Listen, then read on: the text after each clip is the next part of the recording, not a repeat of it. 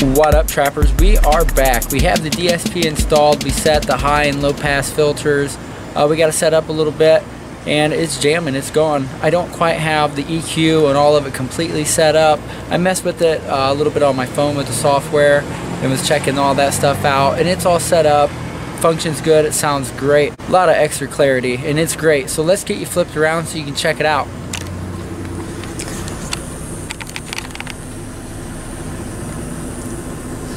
Alright trappers, here it is. Uh, this is the switch that I was telling you about, lights up blue. It's pretty much the overall gain knob, the volume knob, that sort. Uh, I think it goes to 66. Let's see if, yeah, it goes to 66. Um, and it's got different modes, preset modes. I can click it and I can select, you know, 1 through 6, whatever the preset is. And then it'll go through its little cycle and change. So now it's in preset mode. Now it's going to go back to the volume. There we go. We have the inputs from the head deck ran in. We have our lows and our highs here. It doesn't really matter how this is. It's just a signal and then it actually processes inside here whether it's a high or a low. So these are set to full range pretty much. They're coming in from the head deck. The one is set for subwoofer. So that way I can turn it off on the head deck. Um, so only the subwoofer outs are listening to these ports. But anyway, that's a whole that's a, that's a whole lot. But anyway, this is going in and coming out these two here, and that's going into the amp for the high. So it's listening to this, and it has its uh, low and high pass filters, that sort of thing set up. So it only gets certain frequencies, and it's set up for mids and highs, and they'll be coming in through here. So the DSP is listening to these ports to output here to go to the blue amp that's under the seats. Um, these ports are set up at, for my subwoofers. They have low pass filters set and they output at these RCAs on this side. Um, and pretty much the reason that I have it set like this rather than all the inputs listening to or all the outputs listening to all the inputs is because on my head deck I have subwoofer control and I can push subwoofer on or off and it turns those leads out on my head deck. So if I have just my subwoofers coming into here and these outputs are only listening to these two for those frequencies, when I kill my subwoofer, I kill all the output to my subs as well, but I will remain with my high pass and still run my mids and my highs, so that way I can just kill the subs. Um, I know it's probably a little diff, you know, I know there's probably a little bit for a lot of you guys to understand, but if you check out DSPs and uh, you look them up and do some research, you'll figure out what I'm saying.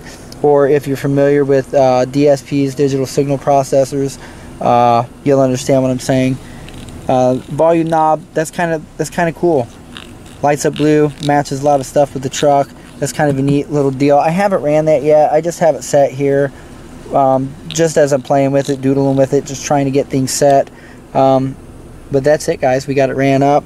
Everything squared away. This will probably get ran I'm not sure exactly, but it's really not necessary because this volume control I have set.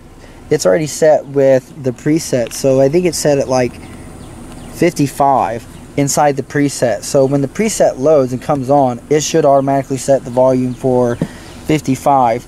So I don't I don't really need this, and then I can just control the volume with my head decks because the volume of the listening sound is controlled by the preset as well. Um, here's the Bluetooth dongle. I left that in. It's not really necessary. I can use it for tuning and to tune the parabolic EQ, but it also lets me stream straight to that. So that's kind of cool, guys. Um, like if I didn't have a head deck or my head deck malfunctions, I can stream media straight from my phone into here and it will still outload or output to all my speakers. So I may have a project for that funding and being able to acquire what I'm thinking um, is the difference there.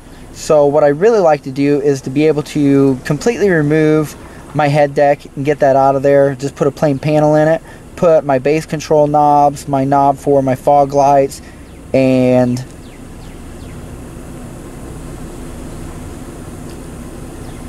in the switch for my multimeter and some other things like that, control things, where my head deck would go and just a plain plastic panel.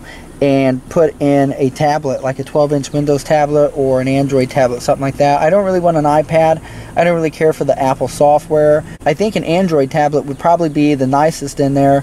One that's 12 inches and has 128 gigs plus of memory that sort I think would be real nice. It'd be really easy to function while you're in motion and doing things like that. Um, there would be a very large screen very nice up front in the head deck. So that may be something that we check out later guys if the resources are available. And this is what will pretty much make that possible is this little Bluetooth dongle and we'll stream straight to that in the outputs. And then these inputs will completely go away. We won't need these inputs here at all. Uh, those RCAs come from the head deck so if we're Bluetoothing into it this is the only thing that we'll need. So that's what I'm thinking guys. That's planning but that's in the future to come. But this is the DSP and really I just uh, I went to the hardware and I got some velcro strips. Like this is soft like uh, the soft side of velcro. So I got some velcro strips put them on the back of this. Sticks to there real easy. I can remove it if I need to but it's definitely stuck on really good. But that's the DSP we'll probably be back more with some more tuning. I want to give you guys another sound test and do another excursion test. You will see a huge difference because of this DSP um, just because of the way it sends signal and way it handles the speakers. Um, if you've watched the video that's getting ready to come up on the stereo, uh, which isn't out yet, but at the time it will be out. So if you watch the old video on the stereo and you come back and watch this on the excursion test, you'll definitely see the difference and most likely you'll hear the difference too. I don't know how well this camera works as a microphone to pick up sounds, but it seems to do okay but I don't know if it'd be good enough for you to tell a difference. But this is a nice addition to what we have going on back here. This is really great. And I just want to thank our subscriber again. He knows who he is. Thank you so much. We're going to make sure that we take care of you on this. This is great, guys. I got a hell of a deal. Can't even tell you. Hell of a deal on this. And this is great. Just uh, its functionality is what makes it so nice as well. So that's what we got going on back here, guys. Um, if resources are available, we're probably going to get one of the Power Acoustik 4 channels that are like this. I think it's 3500 watts, uh, 4 channels divided up. Um, I have to check it out and we'll do the same math and we'll get an idea of what it's really outputting. I'm almost certain that 3500 watts through the 4 channels is not truly what its output is going to be, but it'll still be real nice. It'll match these and I think we'll do some moving. We will move this amp uh, just above that amp. We'll take this one and put it above there. We'll put the four channel here along with the DSP and that'll be the setup back here guys. And I think after that and if we do the tablet I'll be done with this project. We won't need to do anything else back here. That will be just fine like that. It really will be.